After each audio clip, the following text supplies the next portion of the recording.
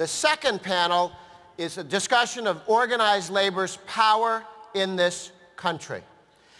They raise maybe $7 billion a year in dues. Imagine how much they spend of that on politics. They are the largest political player in American politics and will be for some time. What can we do about it?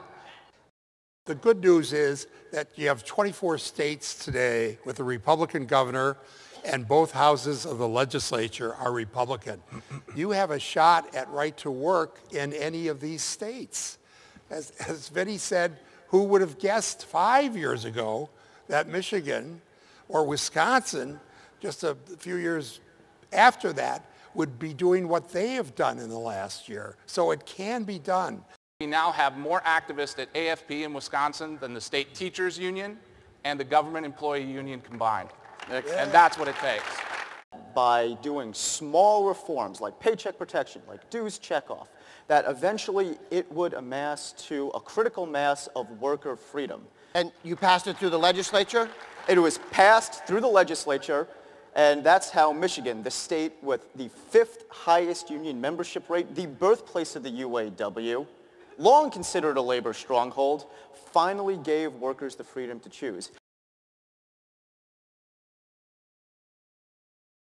We're going to talk about a couple things that uh, perhaps you could do to help us in our fight against uh, labor unions. Why are we focused on the labor unions? Well, this little pamphlet gives you the explanation. Labor unions spend more money in politics and in elections than all trial lawyers, all trade associations, all environmental groups put together. They're by far the largest contributors to the Democratic Party and to the left in our state. They have an enormous amount of resources. And what Scott and I and the staff at the Freedom Foundation want to do is limit their influence, reduce their sphere of influence down to something that's proportionate to, uh, to uh, their size and allow the conservative voice to be heard. That's the whole idea. That's, that's the whole idea. So I, I encourage you all to join in with that and, and to help.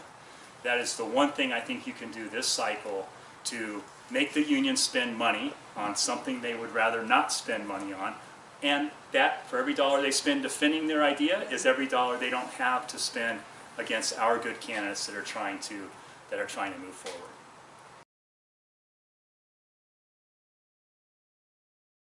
Our number one stated focus is to defund the political left. And I'm going to say this right now. Every time I speak publicly, this is going to sound paranoia, paranoid and all of that. They, the unions know that where I go and they follow me and they send a plant.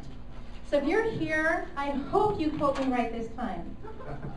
So wherever you are in this room, our goal is to defund you. Yeah.